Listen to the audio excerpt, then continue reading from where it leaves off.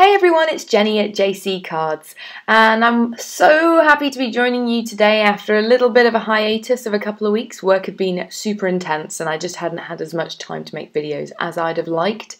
Today I'm joining you with two cards that feature the Hedgehog Hollow September 2019 subscription box. I'm still on my Peacock vibe, so I'm going to be showing you how I created two Peacock themed cards. You may have already seen this one. I posted it on the Hedgehog Hollow blog last week and uh, over on my Instagram. It was very popular and I decided to carry on that theme with the monochromatic background and the peacock inspired colours in the foreground. I'm using these stamp sets, as I mentioned, from the September 2019 subscription box. You can't get them anywhere else and they are still available as at the timing of this video. I've provided links in the description box below. Now to get started, I'm going to be creating a background using just plain black ink. This is VersaFine Onyx Black ink. It's super fine, which is great for these very, very intricate stamps. And I'm using this one peacock feather and stamping it all over a panel of white cardstock, rotating it as I go to get more of a random feel.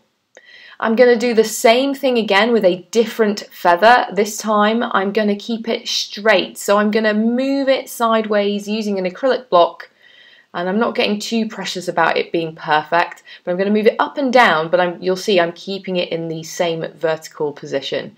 And I'm going to do that at the top and bottom of my panel. Now I'm going to do one of my tricks here that I absolutely love to do. This is the Nuvo shimmer pen in Midas Touch and I like to squirt a little bit out on an acrylic block and then flick it out over the panel and then leave it to dry. For the focal image on my first card, I am going to use this fantastic detailed peacock from the Hedgehog Hollow stamp set.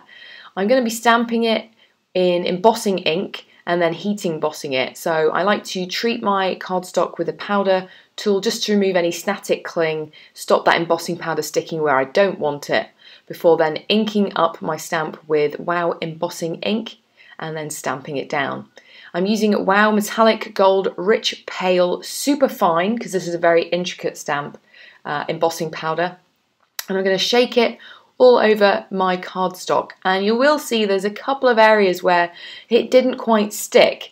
Instead of heating it up, going back in with my MISTI, restamping it, I do have a little trick that sometimes works. I go back in with the embossing powder and then I very slowly tap, keeping the cardstock slightly flatter and that way it doesn't quite fall off as quickly. And if you're lucky, the embossing ink that's underneath will grab on a second time to that embossing powder and it will fill in those gaps and you won't need to restamp it. And that's a quick look at the image once I've heat embossed it. Now for my ink colours, I'm going to use the same on both cards. I'm using Distress Oxides. This first one is Peacock Feathers because of course it is. And these blend beautifully. I'm just using ordinary uh, white cardstock from the box here and I'm using a blender brush just to blend it. You'll see it completely coats the embossing powder, but that's okay. You'll see what we do at the end here. And then I'm going to come in with some Wilted Violet. I'm actually using the same blender brush here. You see I just wiped it off at the side. This is an Altenew stamping mat. I absolutely love it. It's amazing. Can't speak more highly of it. And uh, you'll probably see this in pretty much all my videos going forward. But it's great for just wiping stuff off at the side and I can then go over it with a baby wipe or a wet paper cloth just to remove it. I've come in again with some uh, cracked pistachio.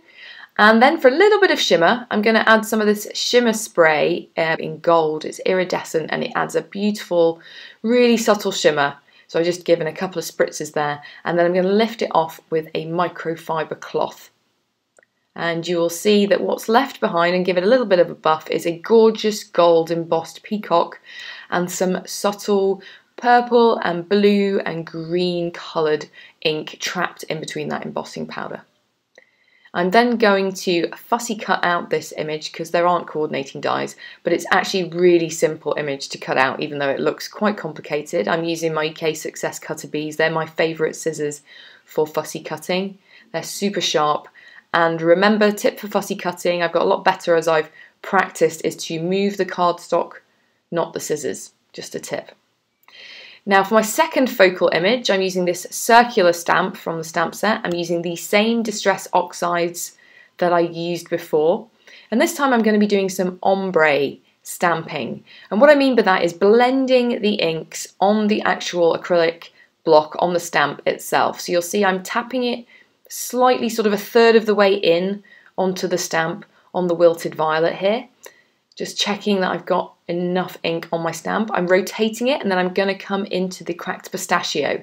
Now you will see that some of the wilted violet came off on that pad. It's not going to um, change the colour there at all. You can just wipe it off later. It's absolutely fine to do that. If you're worried about it, I would recommend using the lighter colours first. I use the dark colour first, but that's okay. And then I go back and forth a little bit just to get the colours to blend on the block and then stamp it down. And you can see I tr tried three different ways of doing it with the same colours and I'm just going to die cut one of these out here. I found a Hero Arts uh, circle die that was the same size and die cut it out. I'm now going to back my panels onto some card bases. I'm using 110 Neenah Solar White. There are also side folding card bases in the subscription box and I'm popping up my first image on foam tape. The sentiment was heat embossed in Wow Bright White Opaque Super Fine embossing powder onto a strip of navy cardstock from the box.